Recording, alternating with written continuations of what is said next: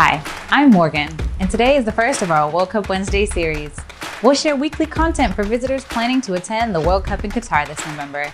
Be in the know by following us on social media and visit our newly launched World Cup webpage for the latest tips and guidance. Be sure to check back every Wednesday for World Cup tips.